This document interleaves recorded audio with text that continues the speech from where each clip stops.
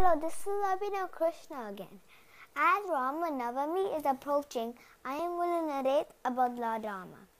In the age known as Treta Yuga, the Supreme Personality of Godhead, Sri Krishna, appeared as the avatar Rama, the valiant king, setting the standard of, for heroism, morality, and good government. The story of Rama is told in the epic Ramayana. Lord Rama appeared in dynasty of the sun god as the son of King Dasharatha and Queen Kaushalya of Ayodhya.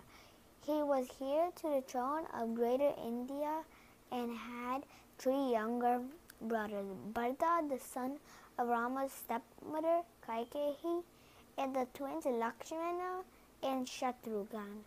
Under the, the total age of his guru Vishwamitra, Rama studied martial arts and defeated many demons in a contest of heroes to win the hand of a beautiful princess Sita. Rama, Rama was victorious. He lit lifted strong and broke the mighty bow of Lord Shiva, which other constants could not even move Princess Sita. Gladly accepted Rama as her husband, and there was a magnified wedding. All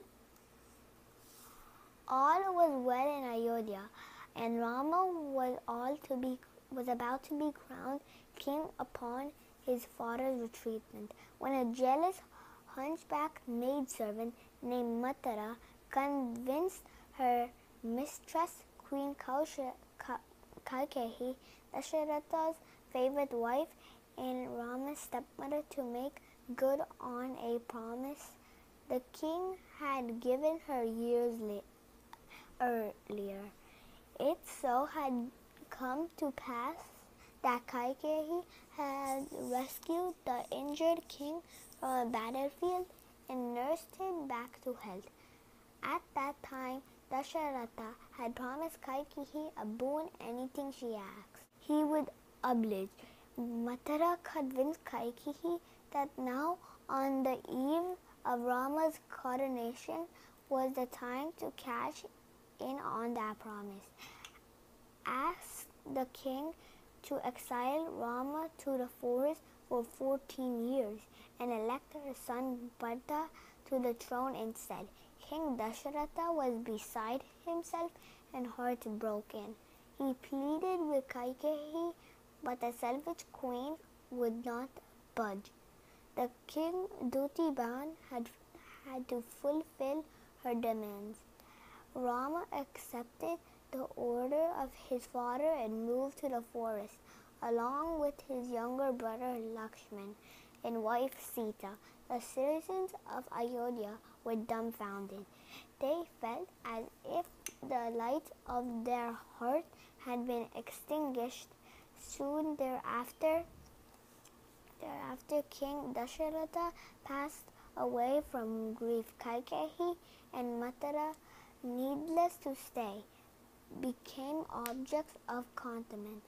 Kaikeyi's son Bharata refused to accept the throne and decided to wait out the 14 year exile until his beloved bro- elder brother, elder brother uh, returned. At Rama's request, however, he governed he governed Ayodhya in his absence, installing Rama's shoes on the throne.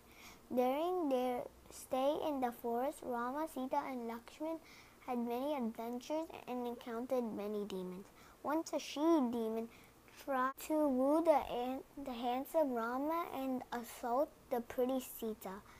When the attack became physical, Lakshmana quickly intervened and cut off her nose and ears. She was shook Shurpanakha, sister of the evil demon king Ravana. Hearing of his sister's damage, Ravana prepared to seek revenge. He sent a magical golden deer to tempt Sita, who asked Rama to catch it for her.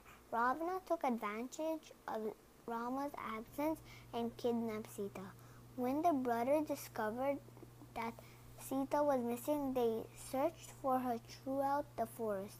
Eventually, they came upon an old eagle named Jatayu, who informed them that Ravana was culprit.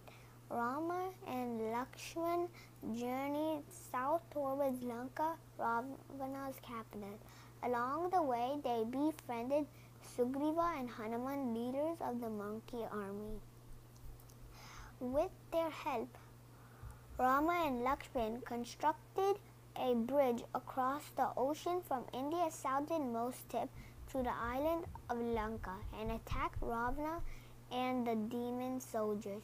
At the end of a fierce battle, Ravana, I mean Rama personally killed the ten-headed demon Ravana.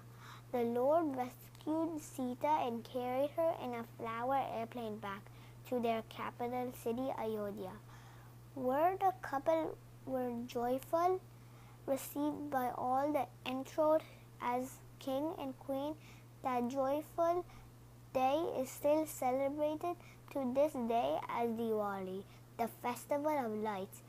The sacred text Srimad Bhagavatam describes that as ruler of the world, Lord Ramas, the supreme personality of Godhead, performed sacrifices, gave charity to the saintly people, and enlightened them for, from within the core of their hearts.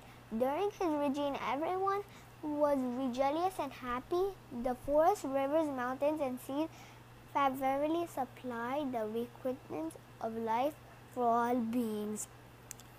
All bodily and mental suffering, disease, old age, and demise, lamentation, distress, fear, and fatigue were absent.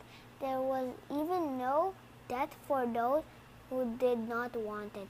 Lord Rama taught the world by the example of his life.